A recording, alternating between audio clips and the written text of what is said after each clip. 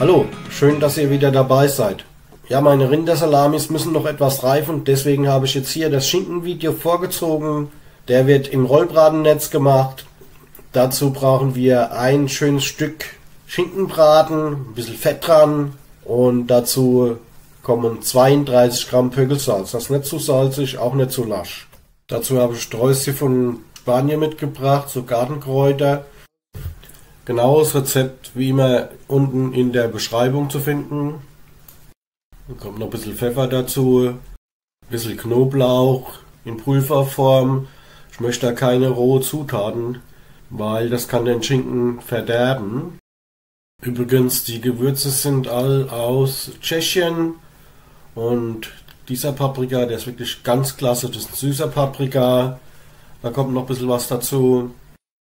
So, dann habe ich noch ein Einmachgewürz, da ist alles mögliche drin. Senfkörner, Dillsamen, Koriander, Wacholderbeeren haben wir ja schon ein paar, Nelken, Lopperblätter haben wir auch schon, dann Chilis und Piment. Könnt ihr bei mir im Amazon Shop erwerben. So, den Schinken vorher ein bisschen mit kaltem Wasser abwaschen. Das ist sogar gut, wenn er ein bisschen nass ist, dann haften die Gewürze auch gut dran, besonders das Pökelsalz. Ihr müsst es in Ritzen und Kanten überall gut einschmieren. Das ist sehr wichtig, weil das sind diese Stelle, wo euer Schinken schimmeln könnte. Könnt auch den Schinken vorher ein bisschen zurechtschneiden, dass es schön aussieht, aber ich mache es meistens so, wie er gewachsen ist. Auch die Schwade gut einmassieren. Ich mache es mehr so auf dem Backblech hier.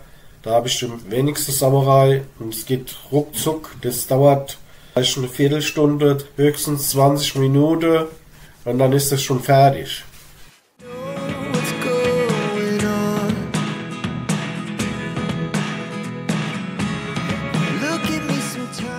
Also schiebt das ein bisschen an die Schwade und drückt das da alles rein. So gut wie es geht. Und wenn er eingeschnitten ist, auch hier in die Ritze einmassieren. So besser ihr das macht, umso sicherer seid ihr mit eurem Schinken. Da passiert überhaupt gar nichts. Seht ihr, so wie ich das jetzt mache. Unter die Schwade schön einreibe, dann ist das richtig gut. Also ich zeige es euch, wie ich das mache. Und ich habe bis jetzt bei 50 Schinken immer Glück gehabt. Es war keiner dabei, der schlecht geworden ist oder geschimmelt hat oder sonst was. Also immer jetzt Salz, dann die Gewürze, so behalte ich das bei. Als nächstes tue ich dann den Schinken mit den Gewürzen und allem einreibe. Also gut einreibe, was daneben fällt, das könnt ihr noch alles nochmal zusammen kratze und dann kommt das mit in den Beutel rein. Also übrigens, ich habe auch zwei, drei Schinken gemacht, das könnt ihr dann auch am Schluss sehen, aber ich zeige euch jetzt nur dieses Teil. So, und jetzt habe ich noch ganz frischer Knoblauch, der ist jetzt aus Frankreich, weil wir wohnen ja gerade hier fast an der Grenze und das ist immer lecker dazu. Den schneide ich einfach in der Mitte durch und so kommt er dann dazu. So, ich habe diesmal so einen Gefrierbeutel genommen, habe den Schinken dann hinein verfrachtet und dann halt die restlichen Zutaten, was da noch so rumfliegt, alles dazu gemacht. So, und schon sind wir dann beim Vakuumieren. Ich schweiß die Beutel dann immer zweimal zu. Äh, für mich ist es sehr wichtig, wenn eine Naht aufgeht oder nicht richtig zu ist, dann läuft euch die Brühe in den Kühlschrank.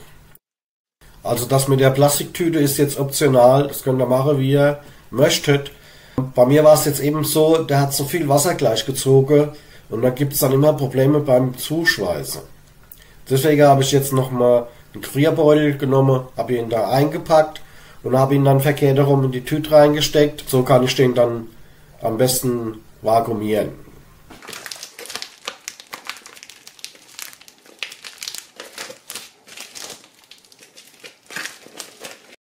So, also pro Zentimeter Durchmesser, ein Tag Pökeln im Kühlschrank. Äh, für so ein Kilo meistens 10, 12 Tage bei mir sind es meistens 15 oder 20 Tage. Ich mache das so, wenn ich Zeit habe, dann mache ich das. Das sind meistens 15, 20, manchmal sogar länger. Da kommt jetzt bei 5 Grad ein Kühlschrank.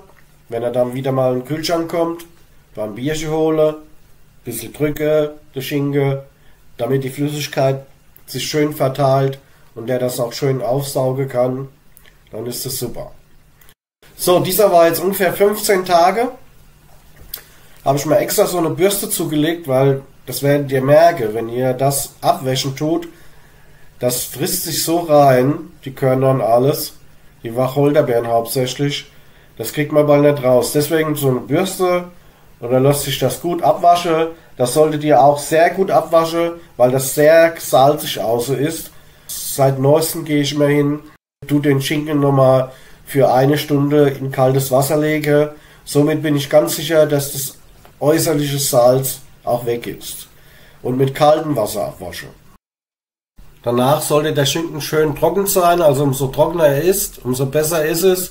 Wasser ist immer Bakterienwachstum und deswegen soll er da richtig gut trocken sein. Und ich habe da mal hier meine eigene Methode entwickelt und das könnt ihr gleich sehen. Also es ist immer schlecht, wenn der Schinken mit Wasser ist und dann verderbt der Schinken. Äh, überleg mal, der ist jetzt nicht ganz trocken in der Ritze und Kante, das kriegt er nie ganz raus, dann hängt er den im Keller und dann fängt das dort an zu schimmeln und geht kaputt. Deswegen gehe ich hin und nehme hier meinen Trockenautomat. Ich habe jetzt so den Gourmet Max, da laufen auch Videos. Der hat eine Trockenstufe dabei. Da gehe ich einfach mal, ich sage jetzt mal 20 Minuten und auf 45 Grad, da passiert überhaupt gar nichts. Der trocknet nur. Dann ist der Fotz trocken. Also 10 Minuten auf einer Seite und 10 Minuten auf der anderen Seite, dann ist der perfekt. Anfangs habe ich ausprobiert mit 30 Grad, ist ein bisschen wenig, aber 45 Grad ist eigentlich so die beste Temperatur. Und ja, probiert es einfach mal aus, ist was Gutes. Also wie schon gesagt, es gibt ja ein Schinken-Rollbradennetz. Dazu möchte ich sagen, das Einpacken des Schinkens in ein Rollbradennetz ist tatsächlich eine sehr gute Methode, um ihn gleichmäßig zu pökeln. Und die Struktur durch das Netz wird der Schinken gleichmäßig geformt, was das Eindringen der Pögelmischung erleichtert und dafür sorgt, dass das Fleisch eine schöne, kompakte Festigkeit bekommt. Aber das nur, wenn ihr das mitvakuumiert. Ansonsten bekommt das Fleisch eine kompakte Festigkeit und verleiht ihm eine ansprechende Optik, wenn er fertig ist. Also probiert's mal aus. Nachdem ich den Schinken aus der Trockenstufe rausgeholt habe, tue ich ihn trotzdem im Keller hängen, ganz normal, wie sonst auch, und tue ihn ungefähr für nochmal 5 bis 7 Tage trocknen. Und jetzt kommen wir schon zum Räuchern. Also ich habe jetzt hier einen Sparbrand benutzt, äh, 0,4 bis 0,1 Millimeter. Da habe ich jetzt noch kleinere Stücke mitgeräuchert, wie schon erwähnt am Anfang. Und habe das dann für zwölf Stunden abgequalmt. Man kann dann Tag zwei Pause machen und kann dann wieder räuchern. Umso öfter ihr räuchern tut, umso haltbarer wird er, umso weniger wird drankommen. Also länger ist besser, wie so kurz. Und wie gesagt, der hat jetzt ungefähr zweimal zwölf Stunden, 24 Stunden, der ist schon für mich eigentlich sehr gut. Ja, und dann haben wir hier ja schon das Ergebnis. Könnt ihr jetzt mal sehen. Jetzt erst entferne ich das Schinkennetz. Das ist auch gut, da kann man es gleich mit aufhängen. Also das Anschlaufen wäre dann auch unnötig gewesen. Und man könnte ihn dann auch so aufhängen.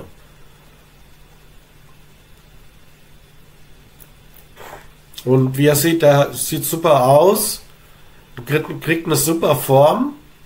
Und wie schon erwähnt, ich glaube, es war ein bisschen undurchsichtlich, ähm, ihr könnt das auch mit vagumieren, also mit pökeln. Dann wird er wahrscheinlich noch eine bessere Konsistenz bekommen.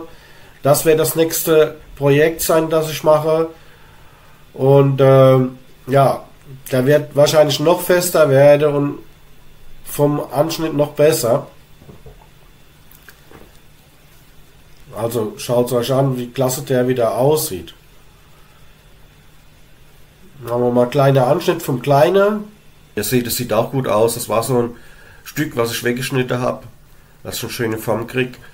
Und äh, da gehen wir mal dran zum Anschnitt an der Große. Und gucken, wie der aussieht. Aber wie ihr seht, die Schwade ist jetzt schon ein bisschen hart. Dann hatte ich jetzt noch mal eine Woche im Keller hängen gehabt. Nochmal zum, sag jetzt mal, Durchbrennen und Trocknen. Umso länger den ihr trocknen lässt, umso mehr Wasser verliert er, umso haltbarer wird er auch. Also so sieht es wieder aus. Ne? Wie ihr seht, er hat eine tolle Form gekriegt, der ist schön fest, hat eine schöne Farbe. Ich sag's euch, der war wirklich auch richtig lecker gewesen. Äh, wenn ihr es erkennen könnt, in der Mitte hat er so ein ganz leichter heller Platz. Es kann möglich sein, dass er da nicht richtig durchgepögelt war, kann ich mir eigentlich nicht vorstellen. Bei 15 Tagen. Ähm, keine Ahnung, was das war. Seid mal gespannt, vielleicht schaffe ich das noch mit der Rindersalami. Sonst muss ich noch mal ein Video vorziehen. Und ja, dann sage ich mal wieder Tschüss, bis zum nächsten Mal. Ciao, ciao.